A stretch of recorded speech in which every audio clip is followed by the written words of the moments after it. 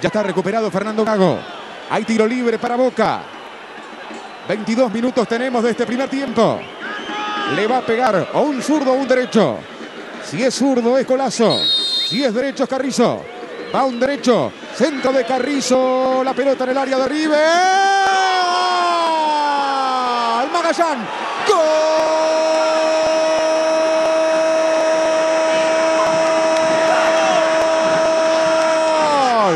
¡Gol!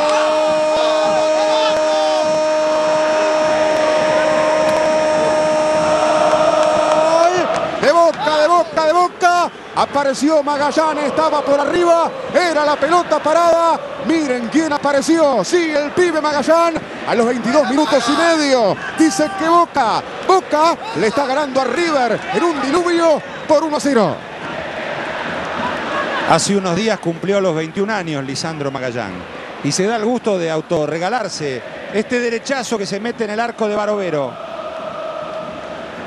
Lo tomaban de la camiseta Magallán. Era Rojas, pudo zafar Magallán y meter ese derechazo que derrota al arquero de River. El primer gol de Magallán en primera división para esta victoria parcial. Explota el banco de Boca y a propósito, pensar que si el Cata Díaz hubiera estado bien, Magallán no jugaba lo que son los destinos del fútbol. Arrua Barrena le dijo, ojo ahora a seguir mordiendo en el medio. Poncio para tirarlo. Funes Mori la busca por el segundo palo. Orión le grita a sus compañeros. Viene el centro de Poncio. La querían peinar, le quedó rebote para Roja. Señoras y señores, Funes Mori. ¿Qué pasó? ¿Qué pasó? A ver, a ver, a ver, a ver, a ver, a ver. Hay tarjeta roja para Fernando Gago y hay penal para River. Señoras y señores, hay penal para River, roja para Gago. A los 40 minutos del primer tiempo. Lo están agarrando del cuello al árbitro algunos jugadores. La acomoda por tercera vez Mora. Vos sabés que a veces acomoda la pelota a uno y patea a otro, ¿no? Esto ha pasado. Vamos a ver si le pega Mora. Magallán va y le toca la pelota. Sánchez va y lo saca. Complicado partido para Vigliano. Va Orión y algo le dice al árbitro. Va Mora para pegarle. 43 minutos tenemos primer tiempo. Tremendo superclásico del fútbol argentino. Ahí va Mora. Para este penal para River. Mora. Mora. Mora para darle. Lo mira Orión. Ahí va Mora. Mora. Señoras y señores. Boca que se queda con 10 jugadores. Le sigue ganando a River por 1-0.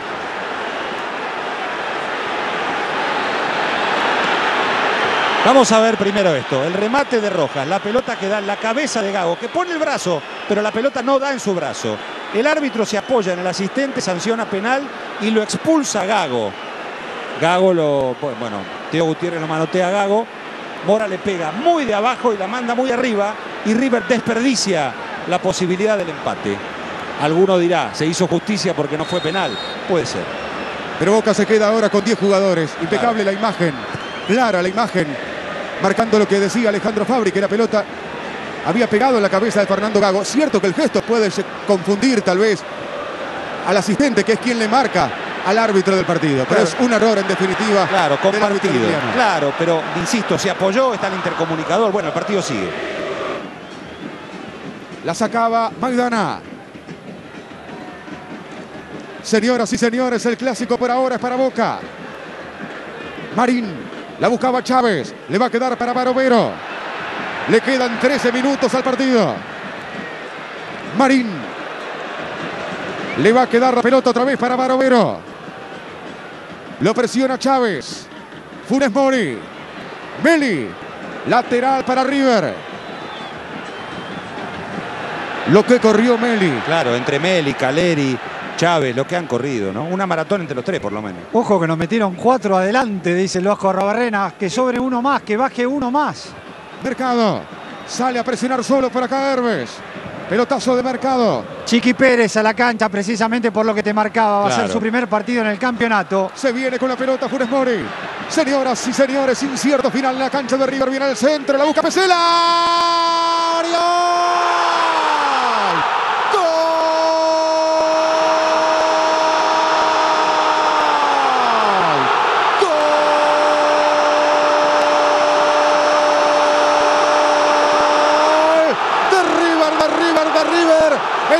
Va Pesela para el juego aéreo. Primero Pesela, el arquero y el rebote.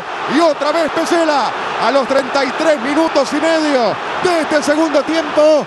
En un tremendo superclásico. Señores, ahora, ahora están 1 a 1. Pesela entró para hacer el gol de cabeza. Bueno, Pesela lo hizo. En realidad, casi lo hace. Le tapó Orión el gol. No pudo retener la pelota al arquero de Boca, que fue la muralla que tuvo el equipo de Arrobarrena. Y en el rebote, ¿quién apareció? El bahiense, Pesela, para meter ese toque de derecha y establecer el partido. Ni te cuento los abrazos a Gallardo. Vizcay le dijo, este gol es tuyo, es tuyo.